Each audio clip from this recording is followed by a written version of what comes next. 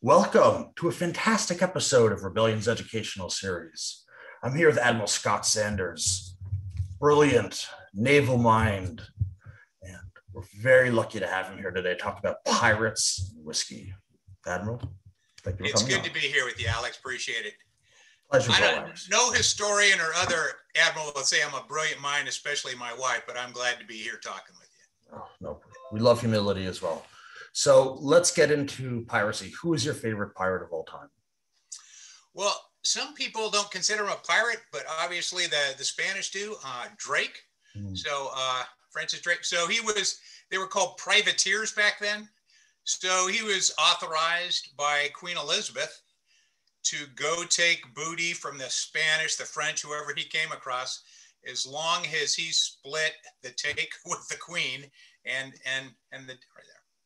So the root of piracy really comes from Queen Elizabeth. Well, no, piracy's been around for you know for thousands of years. Okay. I mean, I guess you know, just just you know, theft at sea is piracy technically. Yeah, so, that's been around you since. Probably have heard of Pompey the Great back in the Roman Empire. Mm-hmm. So, of course, Pompey the Great got the name Pompey the Great from defeating the pirates in the Mediterranean. Oh, okay. And then after Pompey died, that's when Caesar got power, or yeah, the whole uh, crossing the Rubicon thing. Yes, yes, and then we got to Antony and Actium and uh, good times in uh, Roman history. Yeah, um, the end of the the Republic and long live Caesar. Yes, yes. And I need to check out the Battle of Actium more. Very interesting uh, battle. But uh, you know, reverting to now whiskey. You know, as an admiral overseeing the uh, you know American piracy effort. Was there a point in time when you were in command that you thought to yourself, you know what, after I'm done with this, I want to have a, a distillery? It didn't really come out then, but uh, I think I showed you a picture. I was. Uh, and rather, what was your flagship, Admiral? I had two. They were they were cruisers so I had the USS Anzio, named after the Battle of Anzio in World War II, mm-hmm. and the USS Incheon, named after the battle in, in, the Korean War, the Incheon. So, yeah. And you mentioned your favorite aircraft carrier is the Kennedy, which is. Oh yeah, yeah. John F. Kennedy. She's my favorite carrier. She's awesome. Do you think the Navy will find a place to house her as a museum ship, or do you think she will get scrapped? It's not looking good for her. It's not looking good for her, but oh. boy, she was the pride of the Atlantic Fleet. And here's the the dirty little secret why that people who served on her like so she was designed as a nuclear carrier. She mm. ended up being conventional, but you need a lot of water for a nuclear carrier. So we always had fresh water on that ship because there was plenty of water, which is not always the case on other ships. Oh, really? Yeah. So, uh, would you say that you had a, a, favorite moment from serving on the Kennedy? Favorite memory? Not favorite, just the you know when you go on cruise, it's uh, well, I served in the Mediterranean. We, we, we did overseas stuff and uh, did some important missions in the early 80s and uh, just learning how to fly. I mean, I was very young. I was 24. Was Kennedy involved with Lebanon? Yep. We did the, uh, there was the, uh, we did the retaliatory strike after the, uh, the bombing in, in, uh, in Lebanon there at the Marine Barracks. Yes, of course. It was, very sad day in American history no, no, no. I love the Kennedy. I really hope she becomes a museum ship, uh, but uh, no, the odds are unfortunately against her. So, when you were commanding the anti-piracy fleet off of Somalia, um, how tough was the logistics there? I mean, how many ships were you dealing with? How many other countries were you in contact with? I mean, how many threats did you deal with a day? I'm sorry for so many questions at once there. So I was I was the commander of the international task force. So had about 28 nations. They weren't all there at one time. Mm. And what we did was uh, we just asked, just give us whatever you can, whether it's a liaison officer with a cell phone or a ship or, what, or a ship for two days or a ship for a week. So uh, we'd have it was so it was always maneuvering. So you're always adjusting depending on who was there. Uh, but it was great, 28 nations. Uh, but then the other piece was coordinating with other nations who didn't weren't in the international force. So I, I dealt with the Chinese because they had a counter piracy task force. I dealt with the Russians, they same thing. But they were standalone, so they weren't part of any coalition. And uh, and then there was a thing called the Well, NATO may I interrupt you, Admiral? Uh, something that's always made me curious is the Russian battle cruisers seem to be so heavily armored uh, with so many extra missiles and whatnot, uh, more so than the Americans. Do you have you noticed that too? Is that anything you could comment on? Oh yeah, they are. They are. They're thick. They are immensely thick ships. Yeah. So I, it was cool. The ship I was on over there, it's called. Yeah, we don't want to get out. It's called the Black Krivak. It was a really cool ship. I mean, when I was in the Navy as a young guy, I knew a lot of things about that ship. Oh. So it's yeah. So uh, we know Russian subs were, you know, at times actually much nicer than American subs. You know, they, uh, you know, the Kursk, for instance, that went down had a, a pool for their uh, crew members. Were the Russian battle cruisers nice or more on the sparse side? Yeah, uh, no, they're pretty sparse. It was, uh, in fact, I mean, it a, it was a Udaloy was the name of the ship. So it's kind of a destroyer. Mm. Uh, you know, but it's, I mean, it's, there's a lot of weapon systems on there. Yeah, yeah. And so, how do you feel about the new, uh, you know, the new American destroyer? By the way, that's gotten a lot of very bad press, and it's too expensive. What eight hundred thousand dollars to operate a single shell? Uh, what are we going to do about that new destroyer? Any idea there? Are you are you talking about the Zumwalt, the DDG? Yeah, the Zumwalt. Yeah. Yeah. Uh, well, what people don't realize is it's kind of a transformational platform. They're only, making three. Gotcha. And so they're putting a lot of systems on there that will evolve to other platforms. So a lot of the technologies there will go on to other submarines. That they'll go into a lot of other pieces. So you view the Zumwalts as kind of uh, scientific test ships for the Navy uh, to then kind of pivot. Uh... Yeah, I'm not as spokesman for the Navy, but you know, yeah, just no, seeing you know, there, has been other, if there's been submarines in the past that they've only built one or two of, and that technology from the submarines translates to aircraft and surface ships and all over. So, yeah, it's kind of a transitional piece. Did you have a favorite submarine? Uh, I like there's a the USS Michigan. Hmm. Uh, it's a uh, it's an Ohio class ballistic missile submarine that was converted to be a uh, guided. It, it, has it's basically has a lot of Tomahawk missiles on it now. Hmm. Oh, a wonderful. I think so, it just. I think it's a great innovation. This nation, you know, we came up with this concept, and it's a very powerful ship. You know, it doesn't have intercontinental ballistic missiles, but boy, it's it uh, it's a nice deterrent. Well, reverting back to Russia's gigantic battle cruisers, do you ever see the U.S. building large battle cruisers again and battleships? You know, obviously more modern versions that could house, you know, both drones and you know sophisticated missiles uh, and whatnot. But do you ever see, you know, uh, things as gigantic as the New Jersey and Missouri being built again, or never because of cost efficiency? I'm not so, I'm not so sure. You know, it's uh, I'm not a futurist. Uh, you know, there's but just think of all the things that are changing. I mean, you know, the cyber domain, other things. There's a lot of times you don't need as much uh, offensive power as you need presence. Yes, so, presence. I mean, I had a, a U.S. Navy cruiser for a flagship but I didn't need that big of a ship. I could have gotten away with a much smaller ship because it's mainly about presence and doing other things there too. Yeah. No, presence is very important, and you know, uh, showing the enemy that you're there. So, based on that, one would think that we would go back to castles on the sea again. So, you know, like uh, you know, like like the HMS Hoche, for instance, the the French uh, you know battleship that was just looked basically like a floating hotel, but you know, uh, we could have those types of things when we need to make a presence in, you know, in a, a war zone. So from going from 28, 29 countries to running a distillery, how much easier is logistics now for uh, creating your um, whiskey?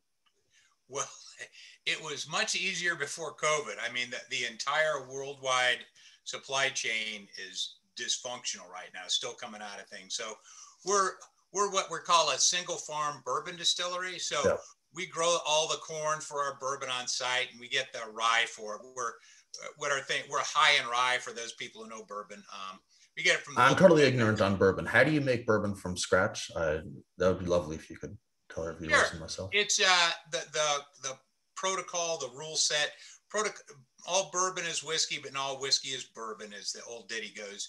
So bourbon has specified rules. So it has to be made in the United States it has to be a minimum of 51% corn mm. in what's called the mash bill or your recipe.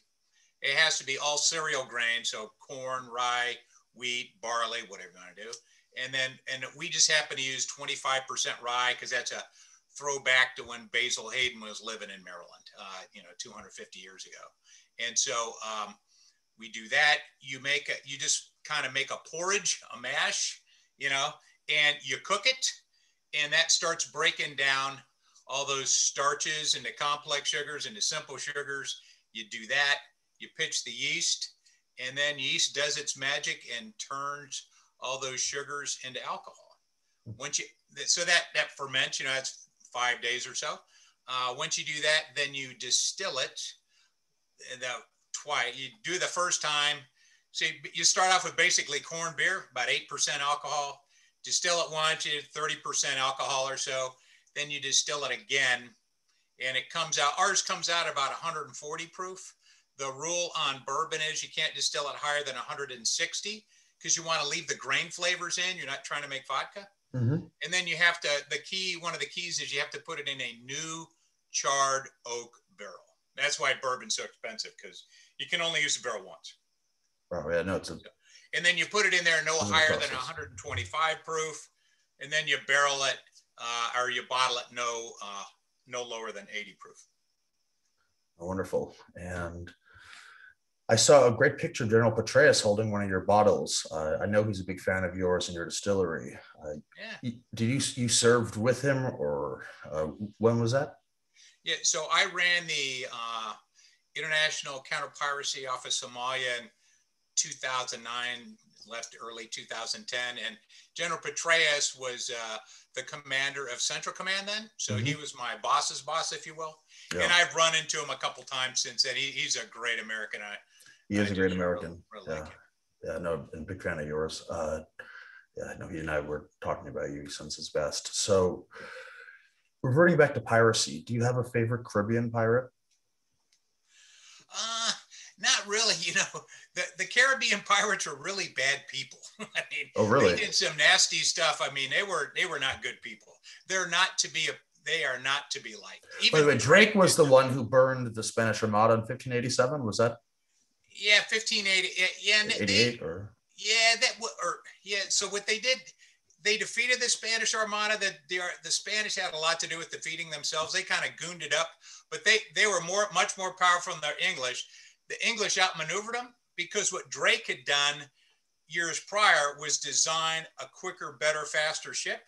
So they outmaneuvered the Spanish. They kept going up to. What about the to, story of Drake sneaking over in a port, burning many of their ships? Is that true, or he snuck over what? Didn't I thought Drake snuck over and, and burned many of the Spanish ships when they were still at harbor? Oh yeah, that was down at Cadiz. Yeah, so okay. that was earlier. Yeah, yeah. Okay, okay, okay. Yeah, he yeah he he, he, he yeah that was an offensive action. So were the Spanish ships just slower and and, and harder to maneuver, and so you know the British quicker and yeah, they're a galleon. You know, so yeah. back then it was a huge, big, you know, t- rolling tub. You know, it was there was nothing sleek about it. Where the and Drake kind of innovated, and he and his cousin they they made sort of a a faster galleon. It wasn't that much better, but it was it was a market improvement. I'll put it that way. Faster ships always win. From Actium with the Romans versus Egyptians to Russo-Japanese with the you know the Japanese just absolutely obliterating the Russians. So um, uh, no, very wonderful stuff. So can people come and visit your distillery? Do you guys have tours? Can you buy yeah, bottles um, we're down here. We're about an hour south of Washington, D.C. So mm-hmm. we're down in Southern Maryland. I used to fly flight test out here at the Navy base. It's called NAS Pax River. So we're about 12 miles north of that. It's kind of beautiful farmland. Are you close to Chesapeake Bay at all, or what's that? How close are you to Chesapeake Bay? About four miles. yeah, we're four right miles. Okay, great. I was in Chesapeake Bay in September. Lovely area. Yeah, so that's that kind of get what gives our bourbon a different. Uh, you know, when you're doing craft, uh, it just it's the the provenance of where you are. So we're high in humidity, so we don't. You know. No, I know people. You know, Maryland is very feels like the South. Very much the the the Maryland coast of Chesapeake Bay to me feels like the the deep South, and it's a lovely time to visit in the spring with all the flowers. Really one of those beautiful places. Yeah, and, and if you're here in August, it probably feels like the Congo because it's so humid. Yeah. I mean, it is. It's hot and sweaty here. Yeah, no, it really is. But uh, and, no. And so what we do, we, you know, we're we're very traditional in the way we do it. We grow everything. We have this beautiful ancient aquifer we get our water from. Uh, but then we do some, I think I was telling you before, we're going to be flying bourbon on a Harrier jet this summer. So we're Oh, getting four cool. barrels. We're, I have a buddy who owns a Harrier. I own a distillery. So we're coming together to do a, uh, a thing for charity for this thing called Semper Fi in America's Fund. We're going to fly bourbon. And also the USS Constellation in Baltimore Harbor. You guys yeah, we distilled put uh, rum on the ship in Baltimore. So it's always moving.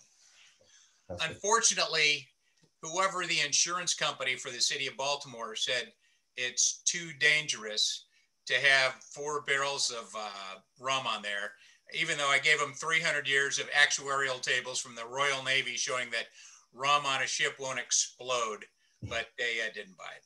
Uh, no, rum has a long history on I said there might be a fist fight, but there's there's not going to be an explosion or a fire. That's for sure. Uh, no, uh, definitely. Uh, this has been a fantastic conversation, uh, Admiral. I know you mentioned to me before the show that the Battle of Midway was your uh, favorite naval battle.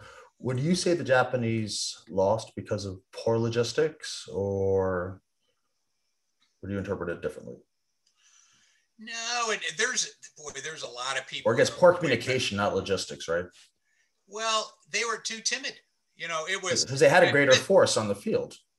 they oh huge. They had they had four aircraft carriers, and we had three, and one was limping. so the uh, I mean, we were heavily outnumbered. Uh, like most Japanese battle plans, it was overly complex. Uh, the admiral was a little bit he he yes no yes no yes no he he could make a decision, and so there was a there's a 20 minute period of, of time in there, and I don't know when it was early in the morning. The, the Japanese were winning the early part, and then in this 20 minute period, that turned the tide. We sank two we sank two aircraft carriers. I mean, in, in 20 minutes, and the other one was ablaze. I mean, they were. It was over after that. They still wanted to keep going. By the way, they they were after they lost it. They still had a battleship out there. They could have they could have really kept going, but they decided. When the battle was over, they still had a greater force in the field, Ah, right? They were yeah. that- don't worry. They they were a formidable uh, enemy.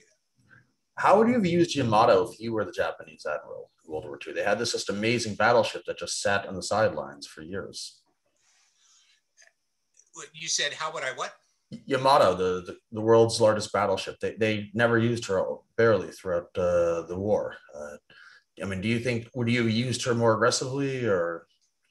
was she kind of um they, they were all the japanese and again there's better military historians than me they were always looking for this penultimate battle they love that so that's it it's kind of like with the russo-japanese war they love that they like were the, they uh, the wanted final, that with the the, final American. countdown battle. yeah Yeah, and we were always doing the rope a dope we were you know we Yeah. were maneuvering around very well said, Admiral. Very well said. So, my last question, and then I'll let you go. Really fantastic experience. Is what's the website where my viewers can go and purchase a bottle? Sure. Um, we're, it's just simple. It's www.tobaccobarndistillery.com. Unfortunately, I know you have a wide, wide audience. We're only available in Maryland, and uh, and we're there's a there's a company called Total Wine. We're at the Total Wine stores here in, in Maryland here too. But it's uh, we'll be coming our release maybe in a couple years. We I might get in the Total Wines up near you there, Alex. Wonderful. Well, Admiral, you stay uh, safe, and thank you so much for this fantastic uh, conversation. Good, great talking to you. Thank you very much.